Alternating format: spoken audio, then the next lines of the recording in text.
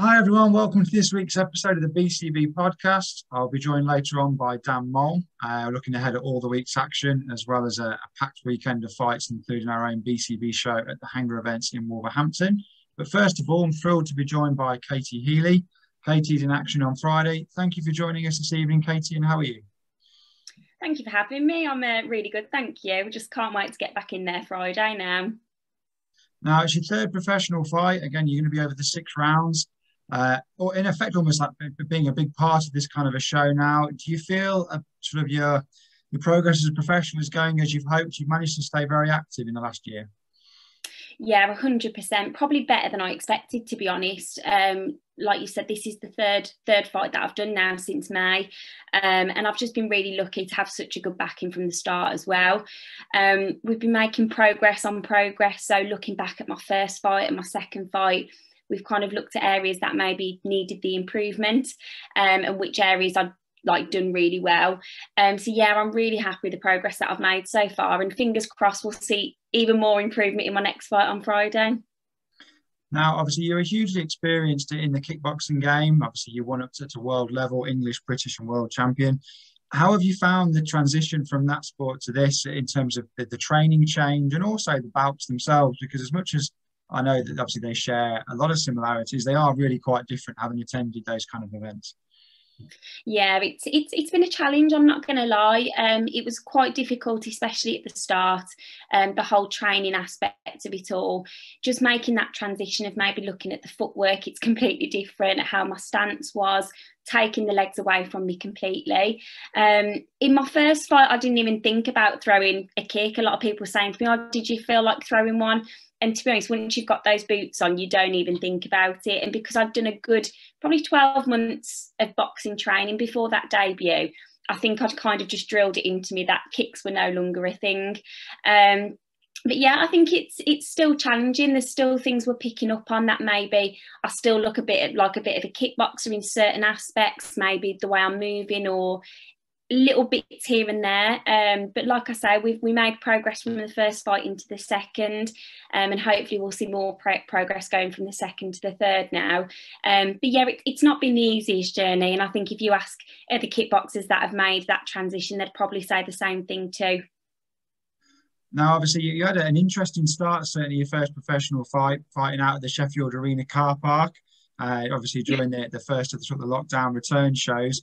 Uh, what was that experience like? And are you happy now to be back in a, a normal indoor venue?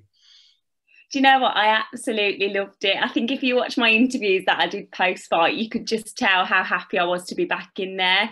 It was very strange circumstances, I must admit. First time fighting outside, it was obviously raining it wasn't the nicest weather so the ring was a little bit slippy. Um, but yeah it was it was just amazing. Like like i said earlier i've been really lucky to be to have such a good backing from the start um, obviously backed by Fight Zone and Dennis Hobson Promotions, and they put me on their first ever Fight Zone show, um, which was incredible. So yeah, I enjoyed every single part of it to be honest. And it went too quickly. I think I've said this in other interviews before. Like the four rounds just went like that, and I just wanted to carry on. That was how much I was enjoying it. So I'm looking forward to it being six rounds on Friday, but having the crowds and stuff back and even being on a home show for this show on Friday, I'm just looking forward to it so much. I I can't even describe it in in words how excited I am. Obviously, yeah, your first fight sort of back in the Midlands, uh, where you are from. Again, your opponent on Friday, Martina Horgas, you know, someone that's got a, little bit of it more experience, certainly in the professional game than yourself. What are you expecting to to be facing in the opposite corner on Friday? Do you know, I never ever study an opponent. So I got, I think I got told um, her name few weeks ago, and I never look into it, never. Um, and I've always said if I can't go in there and adapt within the first 30 seconds and do my game plan, then that's my own fault. Um, but it's just, it's more of a mental side for myself. It's always worked for me. I've never really been one to sit down and watch videos of them. It's more so I've kind of left that to my coach, Gavin. I've kind of said, you can do the studying and we'll work on bits that you think I need to for the fight. Um, but I'm just going to go in there. I've been I've been training hard, um, and I'm just going to believe in my ability. And and the the most important part, just have fun in there on Friday. Now, so you mentioned Gavin there. Obviously, the training setup there at the Trojan Gym. It's certainly uh, been a, been a successful setup the last few years. Obviously, women's boxing's in a particularly good place as well. Um, obviously, opportunities seem to come quite quickly uh, in, in, the women's game. Weight wise, where do you kind of see yourself? What weight class do you see yourself fitting in? Because at the moment, obviously, I know there's you could probably strafe between a couple. Yeah, I'm, I'm quite happy at the super bantamweight for now. Um, I felt quite comfortable at that weight back in the kickboxing, so that was kind of a, a good weight category to go in straight away at the boxing. but for my last fight, I had to go up into the next weight category um, because we did have a couple of pullouts at the super bantamweight um, division, um, and that was absolutely fine. To be honest, I, I found it quite enjoyable because it was nice to fight someone the same height as me. In the super bantamweight category, they tend to be a little bit smaller, um, but I'd, I'd never say never to even going down as well. Um, like for my first fight, I weighed in quite light for the super bantamweight category, um, and that wasn't putting too much pressure on my diet or anything either. So I could potentially go down to that bantamweight too. So I think what we'll do is see what opportunities come up. Um, and over the next couple of years, I've said to Gav, I'm up for any fight, and I trust his instinct. If he says I can go in there and he believes that I can put on a good performance and win, um, then I'll follow his guidance there as well. Now, we talk a lot on this podcast sort of about inspiration and what got you into the sport. I know uh, Ronda Rousey certainly was a, a big favourite of yours when you were involved in the kickboxing game. Obviously, when you made that transition over to, to boxing, is there anyone that really kind of stands out? Obviously, I know you, you've trained along the likes of Rachel Ball for a number of years, but is there anyone that you kind of keep an eye on that you think, you know, male or female, that you, you really admire and enjoy watching? I think a big one for me, it's it's probably the same for a lot of female boxers at the minute. It's it's got to be Katie Taylor. Um, she's done so much for the sport, and she's just that absolutely phenomenal to watch. Um, I was quite lucky to actually meet her as well, um, not long back at a Gymshark event, um, and I must say she was even she was just so lovely in person too, so humble. Um, she did a bit of a Q and A, so we got to know a bit more about her, her background, um, just a little bit better. We even got to meet her mom too.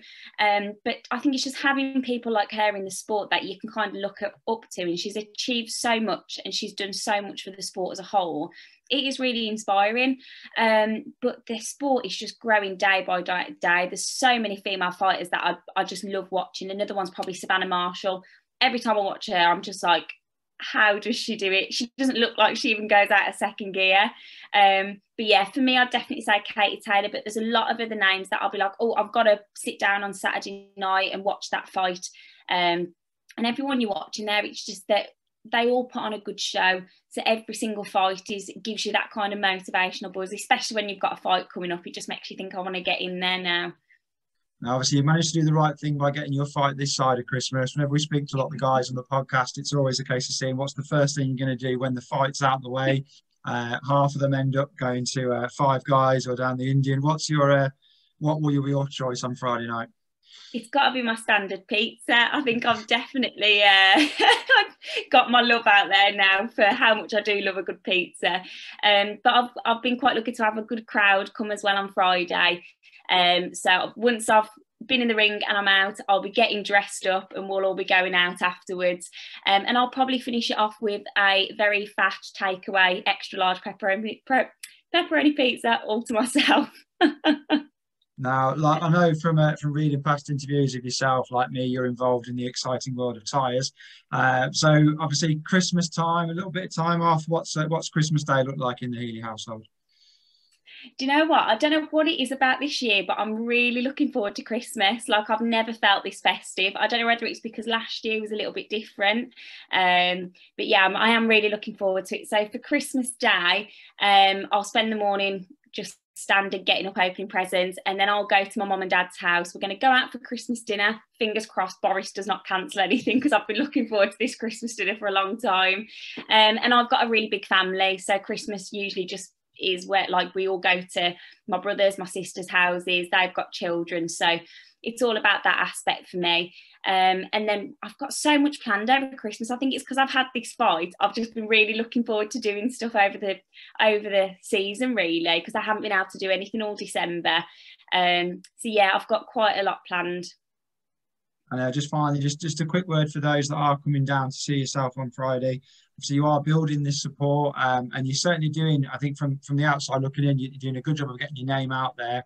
Uh, just a quick word uh, to, to those guys coming to support you and everyone that's been involved in the journey so far. I think it's just a big thank you, really. Um, I put a post up on my social media today just to thank everyone that's bought tickets to come and watch. It means so much. It really does. And I think every single boxer would say the same. Just being on your home ground and having everyone shouting your name and having that atmosphere to come out to when you walk out it's just it's the best feeling in the world.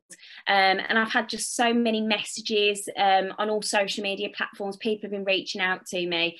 And even just a simple good luck message it really does mean the world. And it just you just know that you've kind of got everyone's support whether they're sitting back at home or whether they're actually at the venue. Um, so no just a really really big thank you to everybody really. And i hope i do everyone proud on friday Absolutely. Well, Katie, wish you the best of luck. Uh, that show at the H Suite in Edgbaston in Birmingham this Friday night. Uh, three fight card over in Birmingham. So if you're around in the area, you want to get a night of boxing, pop down and see the show.